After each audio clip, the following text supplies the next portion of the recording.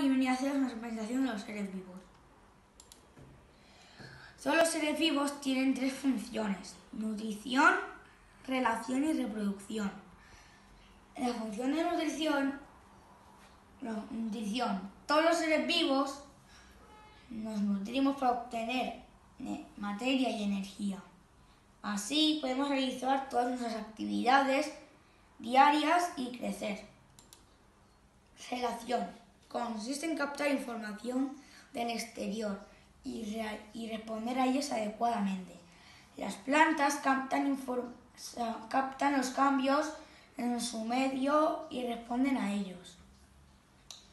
Los animales captan información de, ejemplo, las hojas de otoño.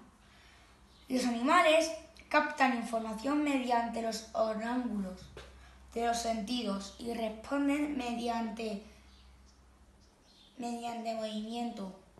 Ejemplo, unas cebras escapan de un león. Reproducción. La, la función de reproducción consiste en tener descendientes. Puede ser asexual o sexual. La asexual basta solamente con tener un progenitor y asexual se necesitan dos progenitores. Ejemplo, la estrella de mar y los, y los loros. Los tipos de células. Todos los seres vivos tenemos, están formados por células.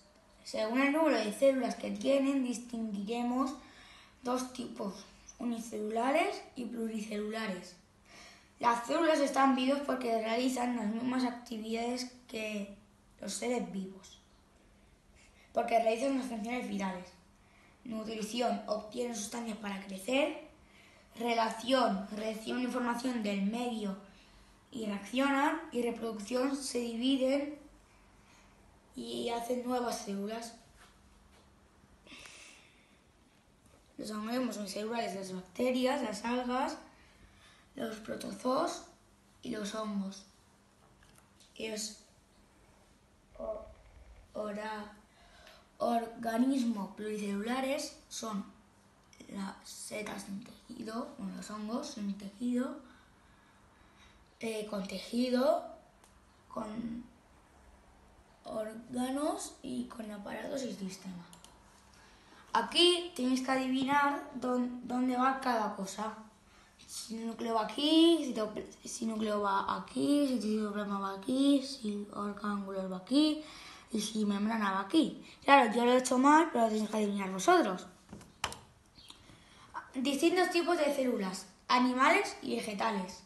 Las células tienen distinto tamaño y forman diferentes. La más pequeña es de una bacteria que mide 0,001 milímetro. Y hay, una, y hay una alga que está formada por una sola célula que mide un centímetro.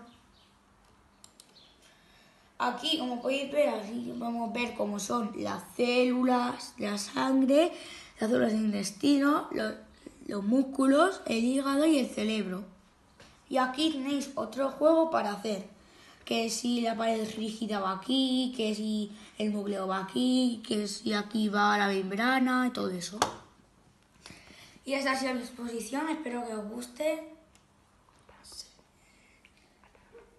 Y hasta la próxima.